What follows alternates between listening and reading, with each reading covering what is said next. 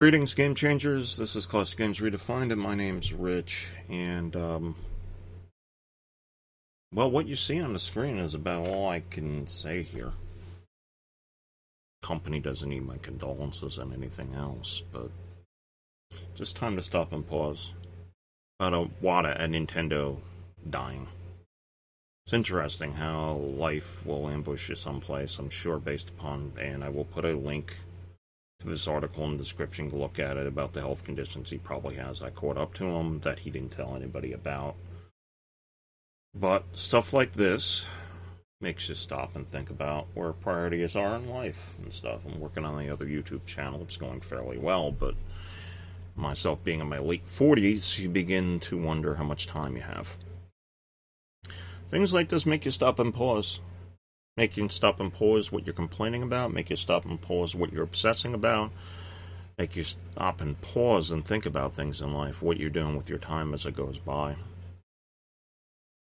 And uh, regarding this here, what else can you say?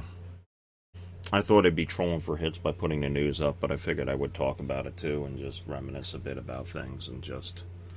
You really wonder where things are heading, and um, that's about it. So I wish everybody well here. May you find out what you're doing, get it was, but to show you how far people come and years go by, I'm looking where Iwata was and look at where I am. Probably have better health than he does, but you know, I saw the news, people thought it was joking, but then, you know, what are you going to do? So this is one of many articles.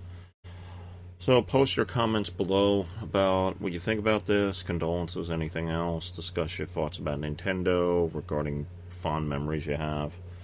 And you may complain about the way Nintendo's heading with everything, but it might be just time to think about the good things. So anyhow, I wish everybody well, and uh, just take some time to think about things. Think about your life.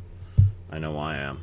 I'm certainly less inclined about the current gen video game stuff and other things about priorities and what am I doing. But anyhow, condolences to the family. Just take some time to thought, take a moment of silence, think about things. That's about it. So I do want to thank you for listening here. May your die always roll five and keep rolling five. And remember, don't hit the player, change the game. I'm out. Take care.